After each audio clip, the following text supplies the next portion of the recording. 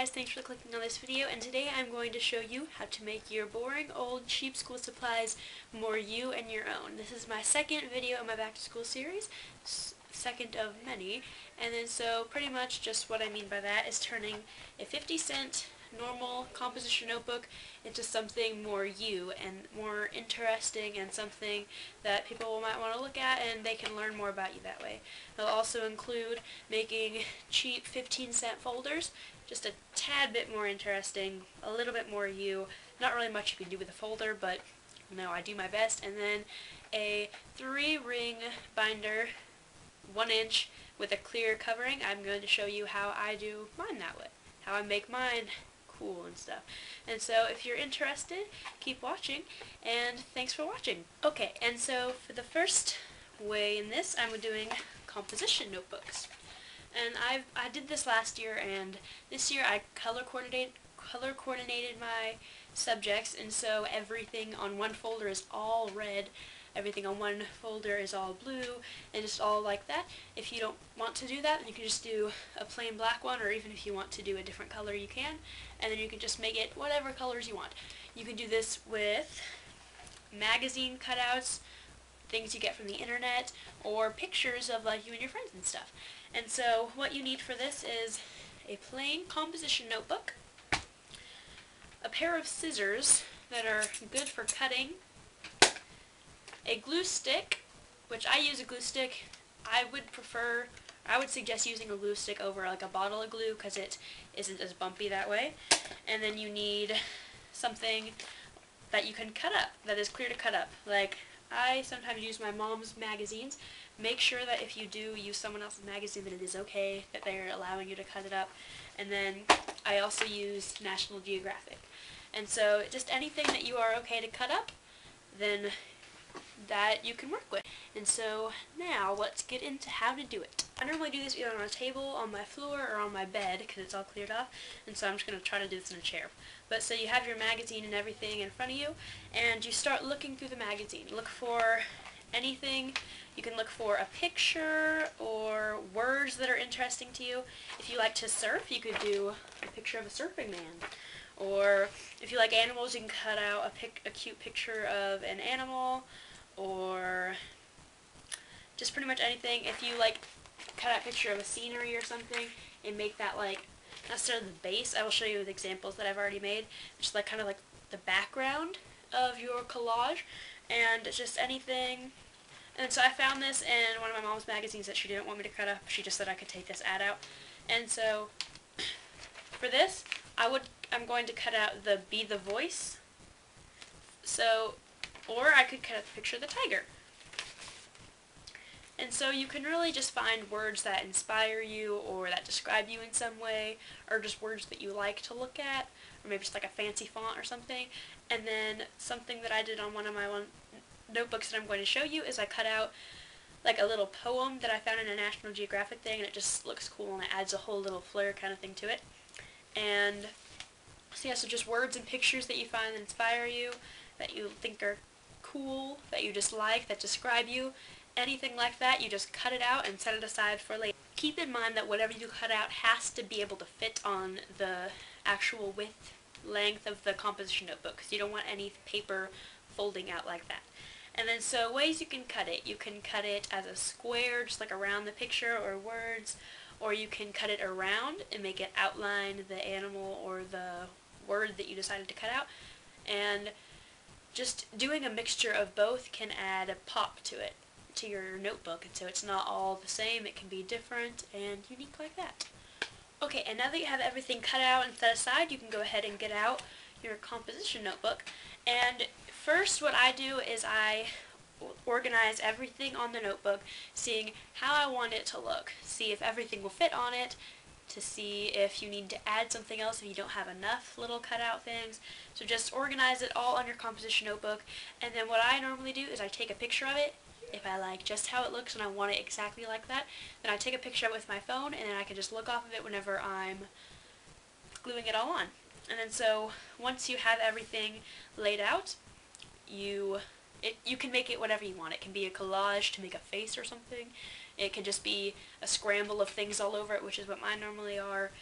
you can organize it any way you want. I normally do it to cover up the composition actually part right there and so it's not so it just looks like a square of pictures and so it doesn't really look like a composition notebook until you open it up and you're like oh it has lines it is a notebook and so yeah and so then you take everything off of the composition notebook except for the main thing that is in the background that things kind of go on top of.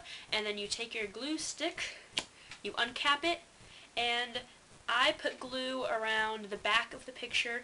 And then I also put a little bit on the edges of where your picture will go on the actual notebook and then on the inside. And so it has double coverage and it will stay a lot better.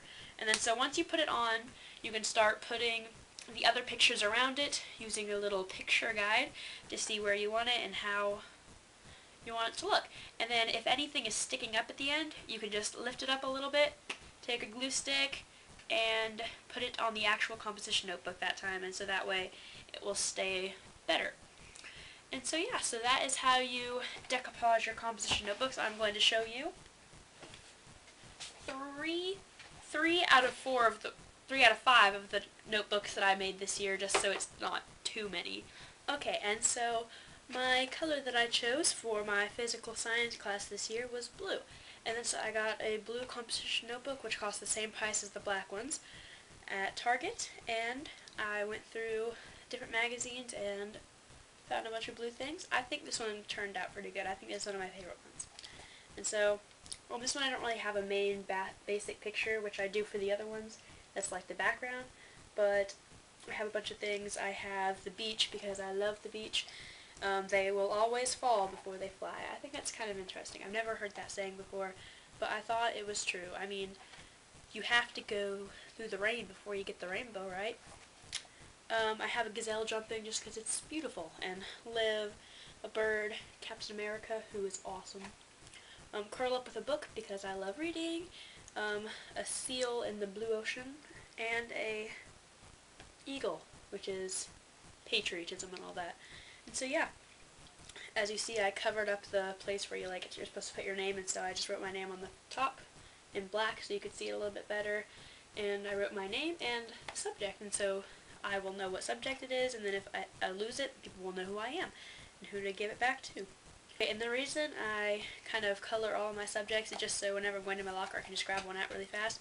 But like last year I didn't color coordinate the pictures for it but I just had that idea this year, and I was like, hey, that's kind of cool. Just do one color for each notebook. This one has the background, which is what I was talking about earlier. This is my ROTC, ROTC notebook. Um, the color for this one is orange, but they didn't have any orange notebooks, so I just grabbed a yellow one and then made the colors orange. And then so what I was talking about with the big picture it's just a big picture that's kind of the focus, and then a bunch of little pictures that isn't the focus.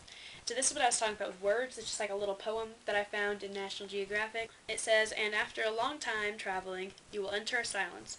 You will know it is winter by the way your dreams tremble like stones when the wind comes through.